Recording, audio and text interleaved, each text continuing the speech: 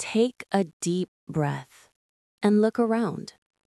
Every building, every car, every person you know exists in a rare moment of cosmic luck.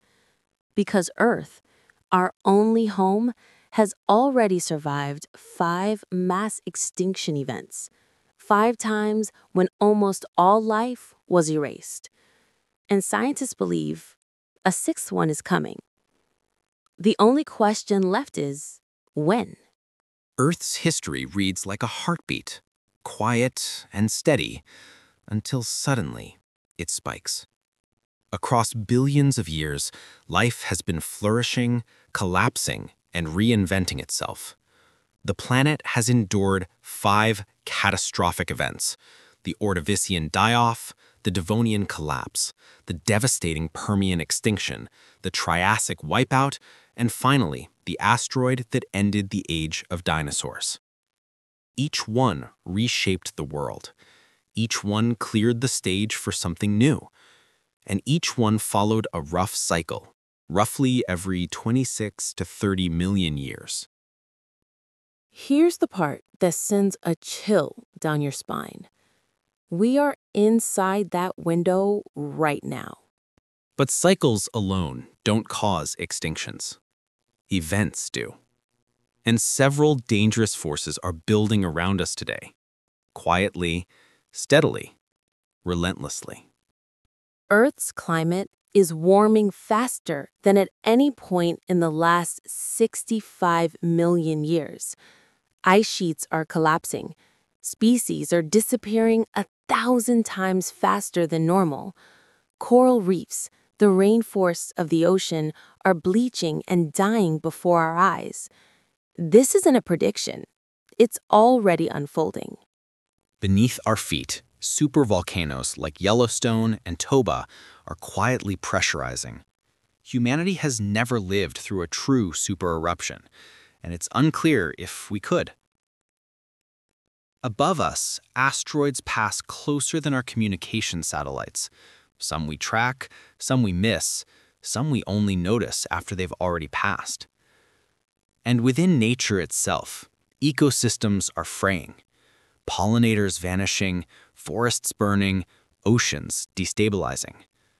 This is Earth's life support system, glitching. Many scientists believe we may already be living through the early stages of the sixth mass extinction.